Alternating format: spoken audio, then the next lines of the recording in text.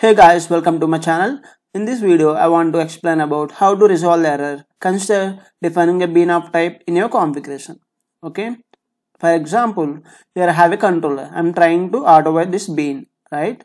And if you go to this uh, test service implementation, which is nothing but service here, I don't have any declaration here, right? It means I should declare it as there is service.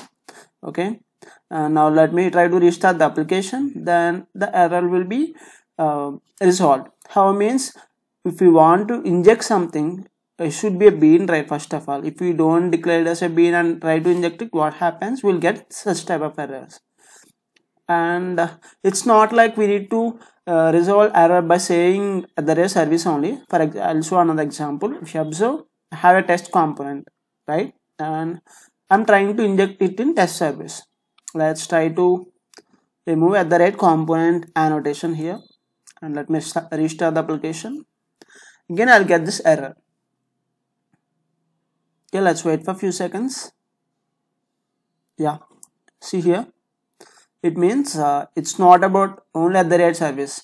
If you want to inject something into another class it should be a bean okay? It's like uh, you are trying to inject a bean but you are not declaring it as a bean that is the reason of the error okay? I hope you guys understood and how to resolve the uh, this uh, runtime error okay? Thank you. Please subscribe for more videos